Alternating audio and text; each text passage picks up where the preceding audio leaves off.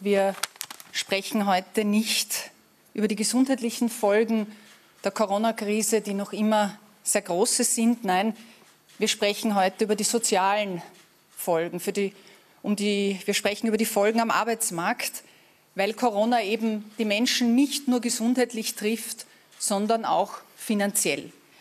Österreich ist äh, leider unter jenen Ländern in Europa mit dem größten Wirtschaftseinbruch, minus acht Prozent, so die Berechnungen. Und damit verschärft sich nicht nur die Situation wirtschaftlich, sondern vor allem auch auf dem heimischen Arbeitsmarkt. Seit Ausbruch der Corona-Krise ist die Arbeitslosigkeit in Österreich und das muss man schon immer wieder betonen, doppelt so stark gestiegen wie im selben Zeitraum in Deutschland. Wir erleben derzeit einen Winter der Rekordarbeitslosigkeit, Zahlen so hoch wie seit 1946 nicht mehr in unserem Land. Über eine halbe Million Menschen, die keinen Job haben, seit längerem zum Teil auch keinen Job haben und mehr als 400.000 Menschen in Österreich, die in Kurzarbeit sind. Was macht die Pandemie, was macht die Krise in dieser Zeit? Sie verstärkt Probleme. Sie verstärkt Probleme, wenn es um den Arbeitsmarkt geht, vor allem dort, wo es Menschen schon vor der Krise schwer hatten, aus eigener Kraft am Arbeitsmarkt Fuß zu fassen, aus eigener Kraft einen Job zu finden. Ja, die Verlierer dieser Krise haben viele Gesichter. Aber eines davon sind ganz klar vor allem Langzeitarbeitslose. Es sind rund 140.000 Menschen in Österreich, die schon länger als ein Jahr beschäftigungslos sind. Länger als ein Jahr beschäftigungslos. Und diese Zahl hat sich extrem erhöht in den letzten zwölf Monaten, nämlich um fast 50 Prozent ist die Zahl der Beschäftigungslosen gegenüber dem Vergleichsjahr davor gestiegen. Und äh, eines wird daran deutlich, dass sich der Arbeitsmarkt in so einer Krise nicht von selbst reguliert. Es wird auch deutlich, dass sich Arbeitslosigkeit, wenn es in solche Höhen schon gekommen ist, nicht von selbst verschwindet. Nein, es braucht entschlossenes, gezieltes politisches Handeln. Es braucht entschlossenes Handeln, um gegen diese Rekordarbeitslosigkeit erfolgreich vorzugehen. Es braucht Handeln, um wieder Chancen und Zuversicht den Menschen in Österreich zu geben. Menschen, die länger als ein Jahr, trotz aller Bemühungen, keinen Job bekommen, die brauchen Unterstützung. Die brauchen eine ehrliche Chance. Wir wissen, dass es äh, in dieser Krise verschiedene Knöpfe gibt, an denen gedreht werden muss. Die Wirtschaft muss gestärkt werden, sie muss angekurbelt werden durch gezielte, zukunftsweisende Konjunkturpakete. Das ist ein wichtiger Teil davon, um Arbeitsplätze zu sichern, neue Arbeitsplätze in den nächsten Monaten und Jahren zu schaffen. Aber das alleine wird nicht ausreichen. Ergänzend dazu braucht es gezielte Beschäftigungsprogramme. Gezielte Programme, um die Menschen, die es nicht aus eigener Kraft in dieser Krise schaffen, zu unterstützen und ihnen wieder eine Chance am Arbeitsmarkt zu geben.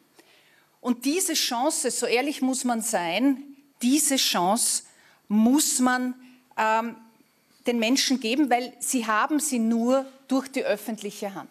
Die öffentliche Hand kann ihnen in dieser Krise diese Chance geben und deswegen schlagen wir heute eine Joboffensive für Langzeitarbeitslose vor. Damit wollen wir, dass 40.000 sinnvolle, sinnvolle und neue Jobs geschaffen werden für Langzeitarbeitslose, die auch einen gesellschaftlichen Mehrwert haben. Diese Jobs und diese Arbeit, die damit erledigt wird, hat einen gesellschaftlichen Mehrwert, einen Mehrwert für uns alle. Diese Aktion hilft äh, damit nicht nur einzelnen Menschen, die von Arbeitslosigkeit, Beschäftigungslosigkeit betroffen sind. Nein, sie hilft auch ganzen Gemeinden, die in dieser Krise ja auch stark finanziell betroffen sind. 40.000 öffentlich finanzierte neue Arbeitsplätze in öffentlichen Einrichtungen einerseits, aber auch in gemeinnützigen Vereinen. Das soll durch diese Jobaktion gezielt in den nächsten Jahren geschaffen werden. Hilfe wird vielfältig benötigt. Diese Arbeit, die damit durch diese Menschen erledigt wird, die braucht es. Die braucht es. Und da geht es nämlich von Unterstützungsleistungen für pflegebedürftige Menschen in Gemeinden bis hin zu Grün- und Parkflächeninstandhaltungen oder gerade aktuell auch Unterstützungen im Bereich von Impfstraßen oder auch Teststraßen. Auch da braucht es jede Hand und auch das wären sinnvolle Einsatzgebiete.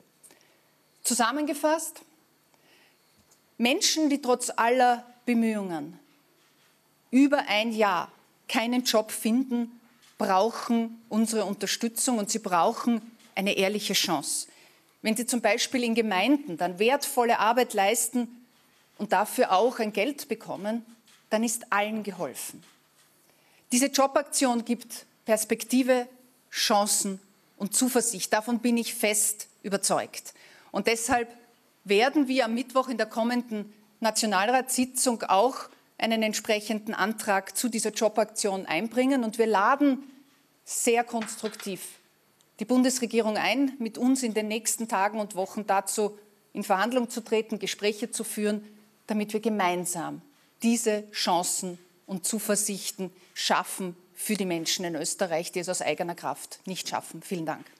Die Aktion 20.000 war konzipiert für zwölf Monate für alle Gemeinden in Österreich. Unsere Variante Aktion 40.000 ist für zwei Jahre konzipiert. Der zweite Unterschied. Die Aktion 20.000 war mit 100 Prozent Lohn und Lohnnebenkosten für zwölf Monate garantiert für die Gemeinden. Unser Modell sieht vor eine volle Finanzierung im ersten Jahr, wo wir uns dann in Etappen zurückziehen in eine Kofinanzierung bis hin nach 24 Monaten der Ausstieg aus der Kofinanzierung.